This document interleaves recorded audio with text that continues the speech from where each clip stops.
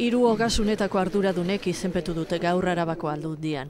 Orain arte egiten zuten informazio trukea sistematizatu dute eta aldundi batek beste lurralde bateko zergadun bati buruzko tatuak denbora errealean eskuratzeko bidea gauzatu dute.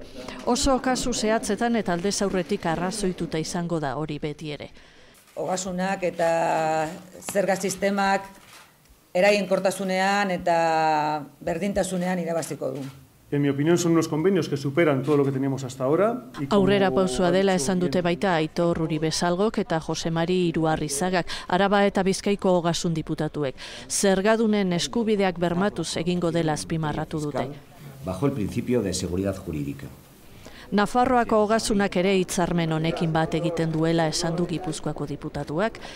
Egoera politikoak usten duenean, teknikoki izenbetzeko pres dagoela esan du Bizkaikoak. Eta estatuko hogasunari ere zabalduko liokeela informazioa partekatzeko bidea.